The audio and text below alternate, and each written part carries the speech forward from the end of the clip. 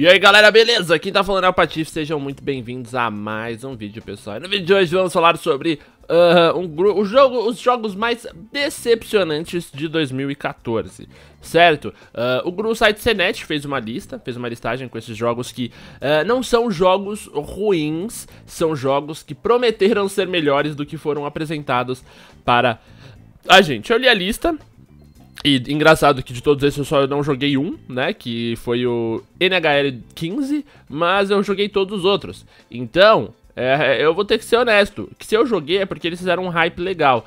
E se eles fizeram um hype legal, eu posso ter me decepcionado. Eu vou falar, a gente vai falando sobre a lista vai comentando caso por caso. São seis jogos e o primeiro deles, ah, mano, não sei se eu começo pelo primeiro ou pelo sexto. Eu vou começar pelo sexto, vai. Vamos começar então pelo Destiny em sexto lugar. Uh, de acordo com o site, é com relação à, questão de mecânicas, falou que o jogo é repetitivo e que o jogo se tornou uma vítima do seu próprio hype, fazendo os jogadores acreditar que estavam ao adquirir algo que simplesmente não existia. Uma história coerente, variedade de níveis e uma experiência de campanha substancial foi tudo que foi encontrado no jogo. Eu particularmente peguei o Destiny, me diverti por um tempo, e eu vejo que tem algumas pessoas que realmente gostaram do Destiny. Então eu não sei realmente se, se o hype foi errado.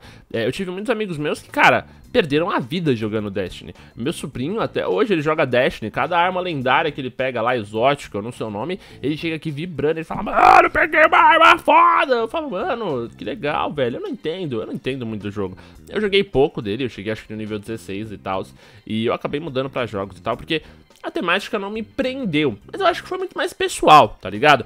Enfim, uh, eu não sei se Destiny foi uma decepção. Esse fica aí a pergunta. Se você acha que ele foi uma decepção, deixe aí nos comentários, beleza? Eu quero realmente saber se vocês acharam o Destiny uma decepção. O quinto é indiscutível. Estamos falando. Aliás, eu acho que ele devia estar em quinto, mas tudo bem. O quinto é indiscutível. Estamos falando de Watch Dogs, velho. Sim, uh, Watch Dogs, repito, não é um jogo ruim. Eu acho realmente também que é um jogo bom.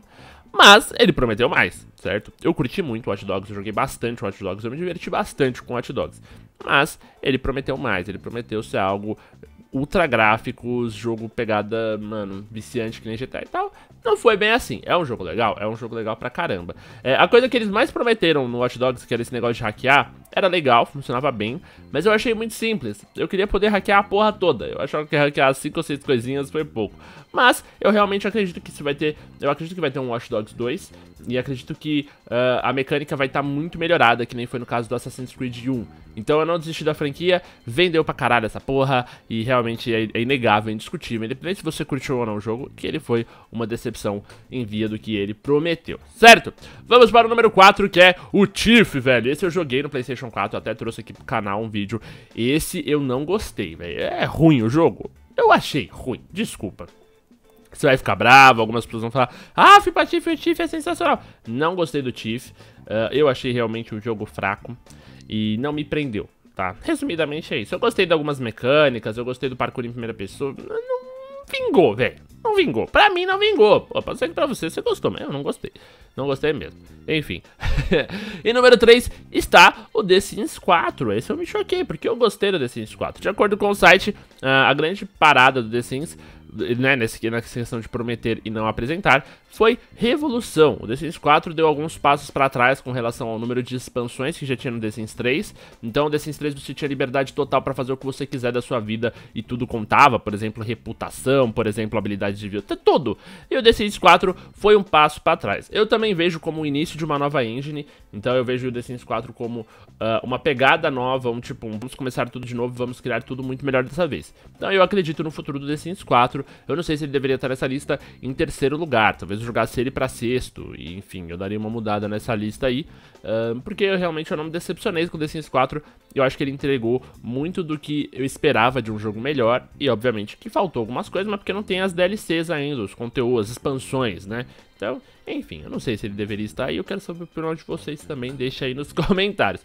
Em segundo lugar temos NHL15, eu não joguei NHL15, tá? Uh, aqui tem algumas informações com relação é, que teve problema de, de, jogabilidade, que os gráficos estavam muito bonitos, mas que o jogo uh, teve alguns passos, uh, deu alguns passos para trás em comparação ao jogo do ano anterior. Mas tem que lembrar também que o jogo do ano anterior foi o último da, é, exclusivo para a geração anterior e tal. Enfim, eu fico realmente meio cético com relação à posição da NHL, porque eu não joguei o NHL, então eu não posso dizer nada, né? Como é que eu vou falar sobre um jogo que eu não joguei? Mas enfim, se você jogou, deixa aí nos comentários também. E primeiro, e como maior decepção, só sobrou ele, né? Que muitas pessoas se decepcionaram, que é o Assassin's Creed Unity. Eu, Patife, não me decepcionei. Eu tive uma boa experiência com Assassin's Creed Unity, eu não tive queda de frame, tra travamentos e crashes, mas eu tenho que ser imparcial a ponto de reconhecer que eu sei que eu fui um dos poucos a passar por isso. Eu sei que a maioria das pessoas teve problema, principalmente os PC Gamer. Então, assim, eu não tive dor de cabeça? Não tive, mas eu também não posso ser... Uh, minha função aqui é ser imparcial, e eu preciso comentar que eu sei que as pessoas tiveram problemas. Não é tipo, ah, eu não tive problema, então foda-se todo mundo, eu tô certo, tá todo mundo errado. Não, as pessoas tiveram problemas, queda de frame e tudo mais, tem total direito de reclamar e colocar numa lista de maior decepção. Eu realmente tô vendo o Assassin's Creed Unity como o Assassin's Creed 1, tá? Então, eu acho que vai iniciar uma nova engine muito boa. Eu acho que esse do ano que vem que a gente vai ter que é a mesma engine, já deu pra ver que vai estar tá bem melhor. Eu particularmente acredito na série, gosto do enredo, gostei do jogo, gostei do protagonista, então eu sou suspeito. Eu não concordo com ele estar em maior decepção, porque não me decepcionou, mas ele decepcionou muita gente. Eu, na minha lista, eu acho que eu colocaria Tiff em primeiro. É que Tiff eu não tinha muita expectativa. Mas Tiff em primeiro e segundo e Watch Dogs em primeiro e segundo. Repetindo mesmo, Watch Dogs sendo um jogo que eu gostei perto do que ele prometeu foi pouco. Já Unity, o Assassin's Creed Unity, eu gostei, então é muito difícil pra mim concordar com a lista. Mas enfim, eu quero saber a opinião de vocês, o link da lista tá aí embaixo também. Uh, o site é o eurogamer.pt, espero que vocês tenham gostado do vídeo. Se não esquece de avaliar deixando o seu joinha, o seu favorito, se inscrevendo no canal para muito mais conteúdo. Muito obrigado por terem ajudado até aqui, um abraço do Patife, até a próxima e